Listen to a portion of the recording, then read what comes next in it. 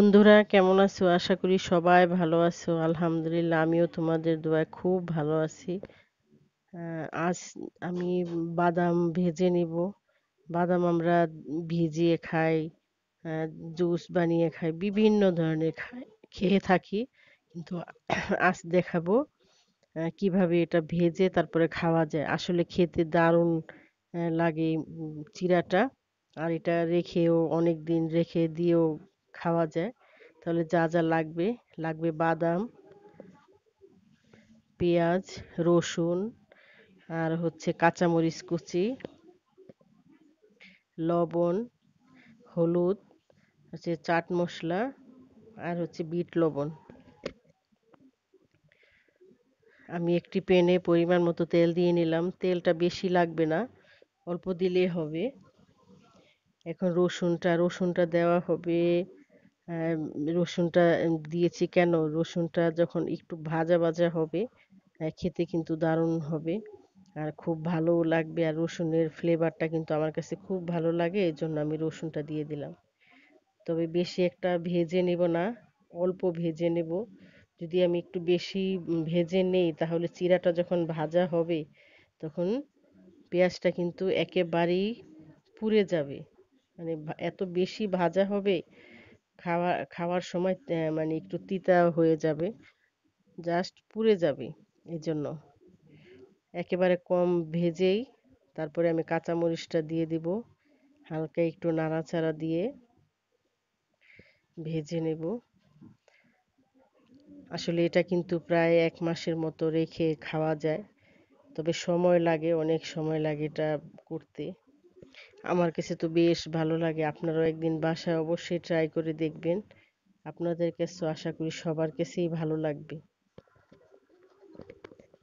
এখন একটু দিয়ে দিলাম হলুদ।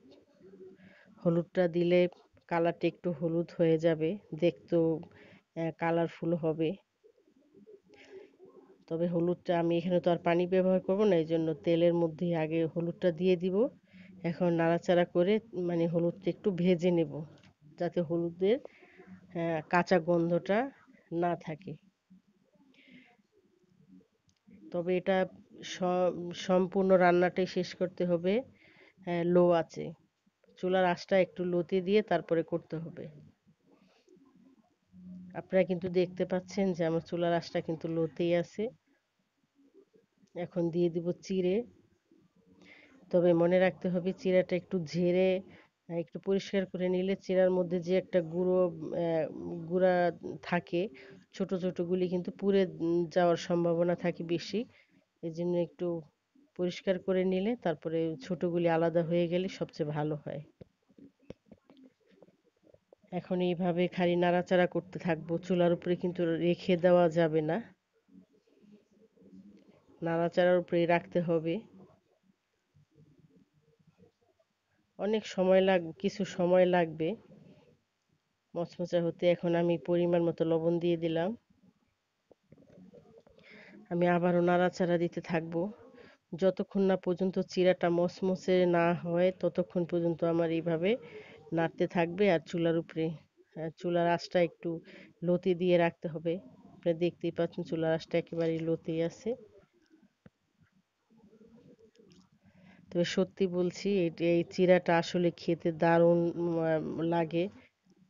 সবাই যারা ঝাল কিছু পছন্দ করে তারা কিন্তু অবশ্যই এটা একবার খেলে বারবার খেতে মন চাইবে সবারই। এখন দিয়ে দিলাম বাদাম, তবে বাদামটা আমি আগেই ভেজে নিয়েছিলাম। আর আমি এই বাদামটা সবসময়ই খেয়ে থাকি। এটা ঘরেই ছিল। কাঁচা বাদাম এনে আমি ভেজে নিয়েছিলাম সেই বাদামটা। এখানে কিন্তু কাঁচা বাদাম দেওয়া যাবে না, বাদামটা ভাজা থাকতে হবে, ভেজে নিতে হবে। এখন আবারও বেশ কিছুক্ষণ এইভাবে ভেজে নিব। এখন দিয়ে দিব বিট লবণ আর চাট মশলাটা। আপনারা চাইলে এখানে যদি কেউ টক, ঝাল, মিষ্টি সব কিছু দিতে চান, তাহলে এর মধ্যে ই দিতে পারেন, একটু চিনিও দিয়ে দিতে পারেন।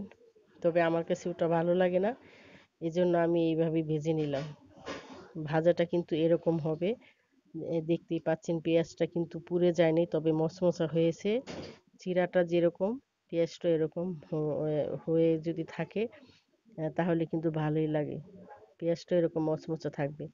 এটা এক মাস, অন্তত এক মাস রেখে তারপরে খাওয়া যায়।